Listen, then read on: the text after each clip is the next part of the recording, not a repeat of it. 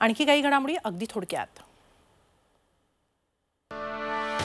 पिंपरी चिंचवडच्या पिंपळे निलग भागात दारूच्या नशेत दोन तरुणांनी रात्री लोकांवर हल्ला केला. रस्त्यावरून जाणाऱ्या गाड्या अडवून हा हल्ला करण्यात आला.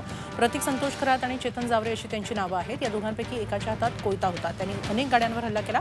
पोलिसांनी त्यांना अटक केली आहे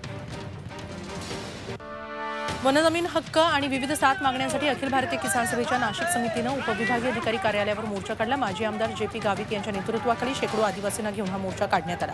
मागण्या मान्य झाल्या नाही तर तीव्र आंदोलनाचा इशारा यावेळी आंदोलकांनी दिला.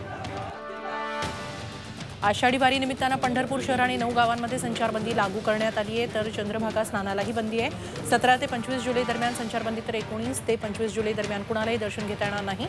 आषाढी वारी महापूजेसाठी मुख्यमंत्री उपस्थित राहणार आहेत. एकोणीस तारखेला वाखरीला पोहोचणाऱ्या वारकऱ्यांची आरटीपीसीआर टेस्ट करण्यात येईल. मराठा आरक्षण मागणीसाठी अखिल भारतीय छावा संघटनेनं नांदेडमध्ये जलसमाधी आंदोलन पुकारलं होतं. मात्र पोलिसांनी नदीघाटावरून वेळीच सर्वांना ताब्यात घेतलं.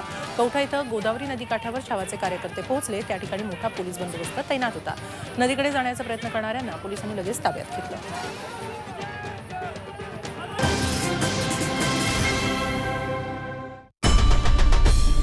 आई भवानीचा गजर. म्हणजे?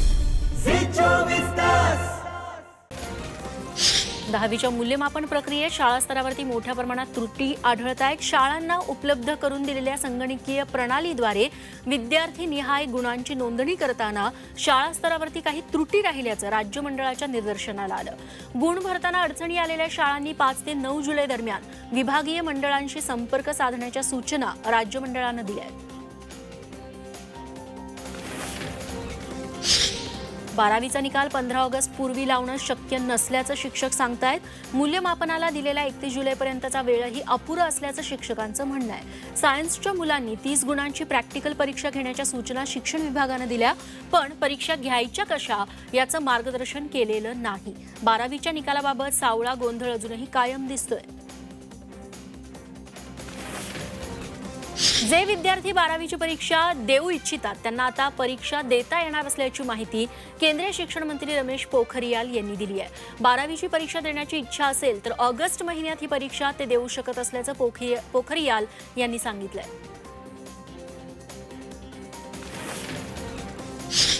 राज्यातल्या इंग्रजी माध्यमांच्या शाळांनी अखेर पंचवीस टक्के शुल्क कपात केली आहे. शाळांच्या मेस्टा या संस्थेनं हा निर्णय जाहीर केला आहे तसंच दोन्ही पालक गमावलेल्या विद्यार्थ्यांचं मोफत शिक्षण करण्याचा निर्णय जाहीर करण्यात आला आहे कोरोना संकटामुळे सुप्रीम कोर्टानं पंधरा टक्के फी करण्याचं सूचित केलेलं होतं. पंधरा टक्के फी माफ करण्याचं सूचित केलं होतं. त्यामुळे मेस्टानं हा निर्णय घेतला आहे राज्यातल्या अठरा हजार शाळातील विद्यार्थ्यांना याचा फायदा होणार आहे. मराठ्यांची तळपती तलवार. म्हणजे?